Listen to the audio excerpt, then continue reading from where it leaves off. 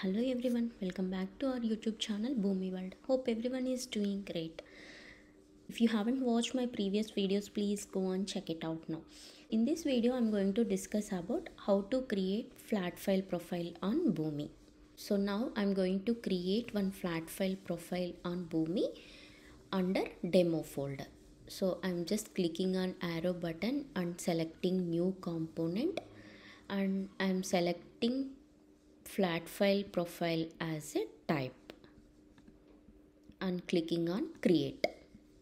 So here you need to change your flat file profile name as per your wish.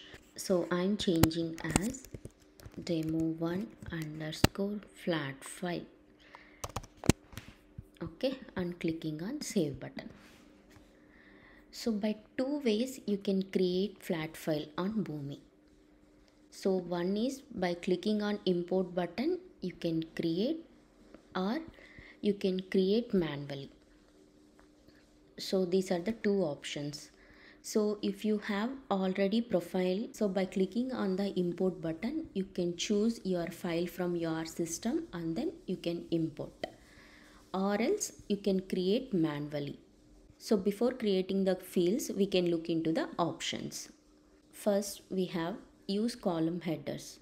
So by default it is unchecked. If you check this box Boomi will assume first line as the header column and it will ignore when the process is executing. So after that we have file type whether it is a delimited file type or data position type. So based on your requirement you have to choose delimited or data positions so now I'm selecting delimited. After that we have file delimited. So as per your requirement you have to choose whether it is a star delimited, comma delimited, tab limited, tick delimited or bar delimiter or if there is a, any other character delimiter you can choose other character delimiter and you can enter that character here.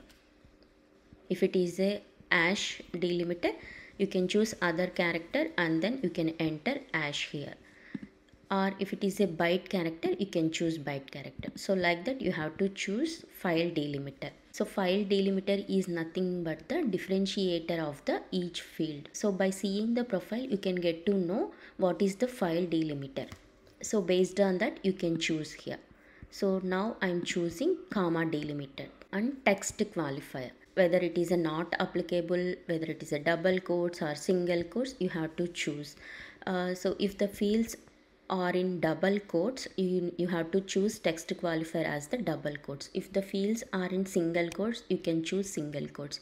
If nothing is there you can choose not applicable. After that we have text qualifier escape suppose your text qualifier is single quote or double quote and if there is any escape like like 12 o'clock we have some single quote on above right so if you want to escape that one you can type single quote here. So after that delimiter escape. Suppose you have one field called address and your file delimiter is comma. So in that case in address field you can see multiple commas right? Like flat number comma colony name comma landmark comma. You can find multiple commas in address right?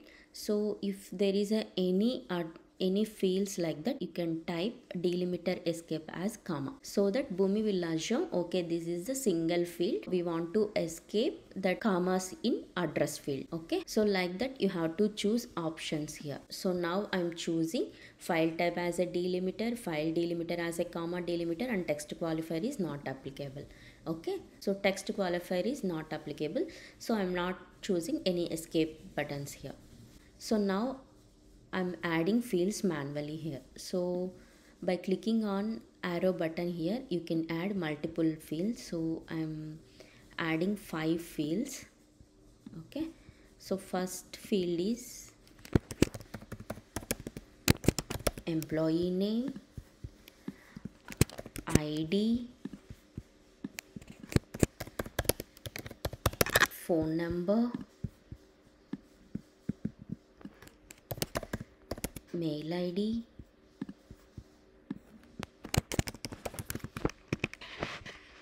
and address. So these are the five fields which I'm getting from the source system. Okay. So I'm saving the profile now. So this is how you need to construct flat file on Boomi either by creating manually or by clicking on import button. So based on your requirement you can choose. Yeah that's it about today's video. If you have any doubts please let me know on comment section. If you like my video, please like, share and subscribe to our YouTube channel. And please don't forget to click the bell icon so that you will get all notifications whenever I post the video. Thank you all. See you in my next video. Until then, bye-bye.